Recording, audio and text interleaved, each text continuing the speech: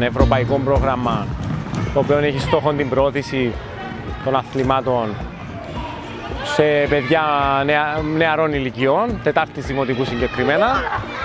Ε, μας ο στόχος μας είναι να προωθήσουμε το άθλημα της καλαθόσφαιρας.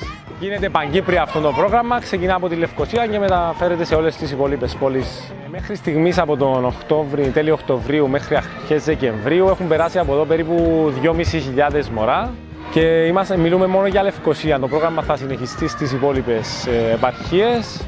Εδώ ο στόχος μας είναι να προσελκύσουμε τα μωρά στο άθλημα της καλαθόσφαιρας μέσω διάφορων παιχνιδιών, δηλαδή μέσω παιχνιδιώτης μορφής. Ε, δίνονται σε όλα τα παιδιά διαφημιστικά φυλάδια της Ομοσπονδίας με όλες τις ακαδημίες Παγκύπρια επάνω και προσφέρουμε ένα μήνα δωρεάν σε, στα μωρά για να ως έναν έξτρα επιπλέον κίνητρο να πούμε, για να πάνε να δοκιμάσουν το άθλημα, να δουν τι είναι, αν τους αρέσει ή όχι και να συνεχίσουν αλλο Τα παιδιά διασκεδάζουν απίστευτα, δηλαδή βλέπεις αντιδράσεις που δεν τις περιμένεις.